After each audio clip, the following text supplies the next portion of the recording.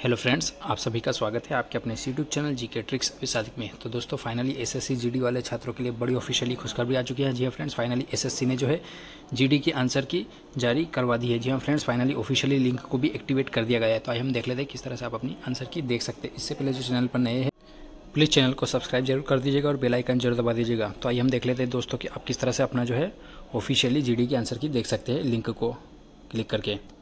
तो दोस्तों, जो एस एस की जो आंसर की की जो लिंक दी गई है, वो मैंने अपने टेलीग्राम ग्रुप पर दे दी है। आप इस टेलीग्राम को जो है ग्रुप को ज्वाइन कर सकते हैं। इसकी लिंक मैं आपको वीडियो के डिस्क्रिप्शन बॉक्स में दे दूँगा। देखिए एस एस मतलब कि इसका जो चैलेंज दिया गया है, इस पर आएँगे। तो देखिए, यहाँ पर मॉड्यूल फॉर कैंडिडेट्स इसे हम ओपन कर लेते हैं। देख लें, आपके लिए दे रखा है। Module for candidates response correct answer key and submission of representations if any मतलब यदि आपके आंसर की में कोई भी आप मतलब आपके आंसर की देख सकते हैं, इसमें किसी प्रकार से कोई दिक्कत हो तो आप उसका रिस्पांस भी दे सकते हैं मतलब कि ऑब्जेक्शन ले सकते हैं।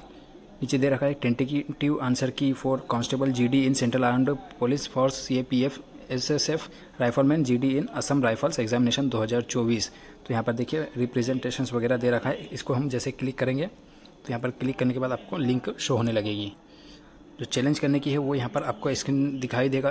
होम स्क्रीन पर आप देख सकते हैं, जो अभी हमने आपको बताया, लेकिन उसके बाद जो है क्लिक करने के बाद आपको जो है S S C dot D G R dot link वाली जो है डॉट कॉम वाली ये लिंक ओपन मतलब आपको दिखाई देगी। तो इस पर हम क्लिक करते हैं।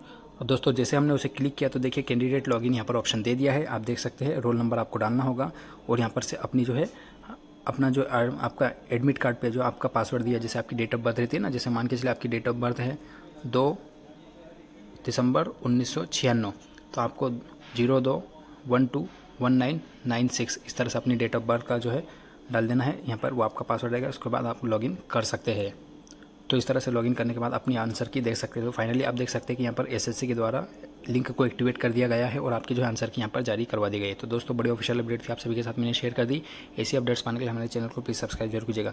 नेक्स्ट वीडियो में नेक्स्ट अपडेट के साथ मिलेंगे, तब तक अपने ख्याल रखिए बाय फ्रेंड्स वीडियो की डिस्क्रिप्शन बॉक्स में यहाँ की लिंक मैं आपको दे दूँगा। आप डायरेक्ट भी जो है अपना एसएससी के लिए आंसर की देखने के लिए लॉगिन कर सकते हैं।